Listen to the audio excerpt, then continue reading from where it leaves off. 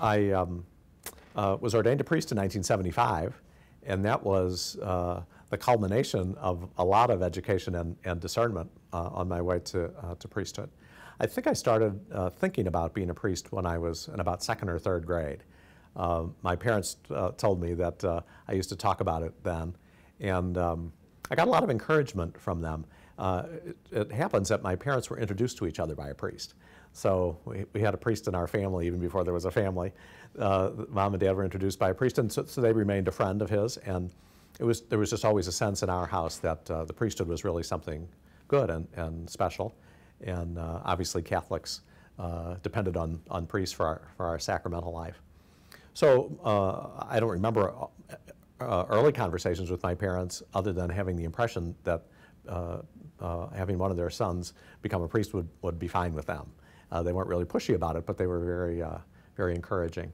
Uh, when, um, when I was in second grade, we, uh, a new parish was started in the area where we lived, and we lived not far from the seminary. And so before our parish church was built, uh, we used to go to Mass on Sunday at the seminary chapel.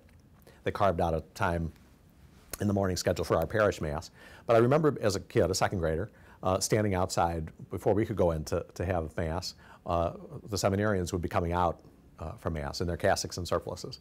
And uh, that just made a big uh, impression on me. Uh, and just, you know, there was something about that that, that was very, very attractive to me. When I was in fifth grade, our parish priest decided that he would take all the boys in the fifth grade class to visit the seminary in, in small groups, however many he could fit in the car. And um, again, it wasn't very far. It was not, not far from where we lived. But I remember visiting uh, then as a fifth grader and uh, just seeing the seminarians um, involved in all kinds of things, some playing soccer, some studying, uh, some in the chapel. Uh, they seemed pretty normal. And uh, again, there was something about um, the seminarians that, uh, that attracted me to think about going to the seminary myself. in those days, we were really blessed too with, with wonderful priests in our parish.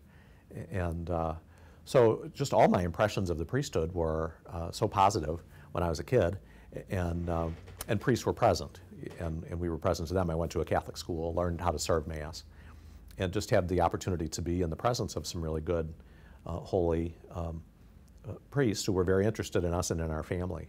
And uh, I think as much as anything, you know, was their influence, their encouragement, along with my parents, that, uh, that uh, led me to think I might be called to the priesthood myself.